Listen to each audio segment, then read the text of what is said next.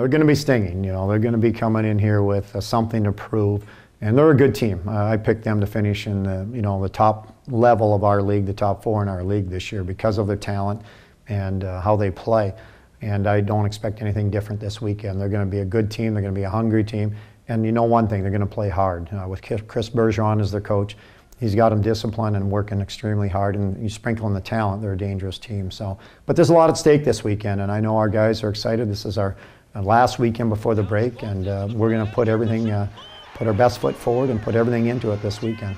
They're an aggressive team. They're a physical team uh, but disciplined. But I think you're going to see uh, two real good scoring, uh, wide open games, skating games, and uh, like I said, physical games. But uh, they're a good, strong team. They play defense first, which transition, transitions into their offense, and they're very well coached in their special teams. So I expect, you know, like most of our games this year, they're going to be tight, hard fought, close games, uh, usually coming down to the last period. what I learned is every team's going to come out hard every night we don't have those those big uh, talented schools like we did last year who would beat us on skill alone or try to match that way. Everyone's just going to work hard and it's going to be gritty, tight games like you've seen all year so far. So we have to learn how to play in those tight games. I think we're doing well so far.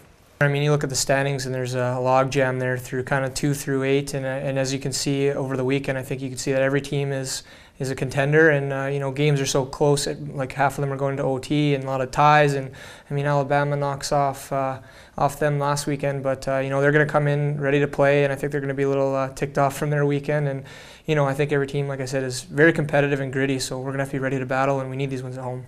I think it'll come down to special teams. I think we gotta we gotta stop them on the kill, and I think we gotta get a couple on the the power play. Uh, it's it's huge. I mean, we want to establish a presence at home and uh, let teams know that when they're coming in here, they they better be ready for a battle, and uh, we want to send them packing without zero with zero points. So.